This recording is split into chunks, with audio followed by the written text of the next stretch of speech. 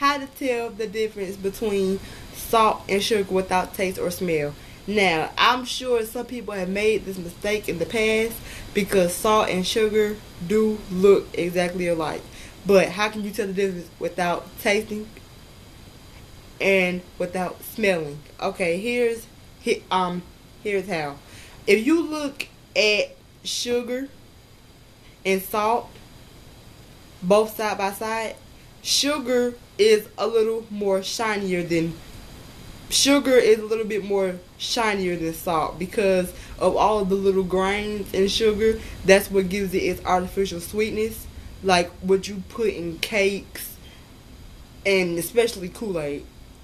Um, and salt looks very dull. Salt doesn't have any shine.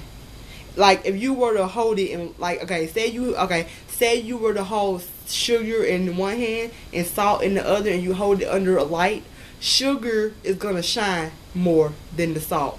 That's one way. Another way, if you know what the little um if you know what the slug looks like, if you know what a slug looks like, it's like a snail but without the shell.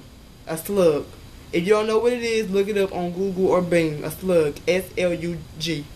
Now, if you see a slug crop, sl- well, slugs don't have feet but you may just see it slithering around somewhere. It, it's, it's like a snail, but again, just without the shell. And you take some salt and pour it on a slug. The slug will crawl, will kind of roll into a ball. You can't spray bug spray on the slug to kill it, but if you take salt and pour it on the slug, it will curl into a ball. If you pour sugar on the slug, it's not going to do anything but keep crawling because the the salt will kill it. That's two ways the difference. So if you want to know the difference between salt and sugar and you still want to kill the slug, try pouring both of them on there. And whichever one makes the slug roll into a ball, that's salt.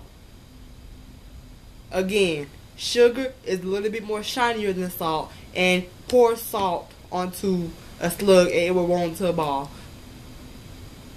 Yeah, pour salt onto a slug, it will roll into a ball. Pour sugar onto a slug, it's not going to do anything. So, that's how to tell the difference between salt and sugar without taste or smell.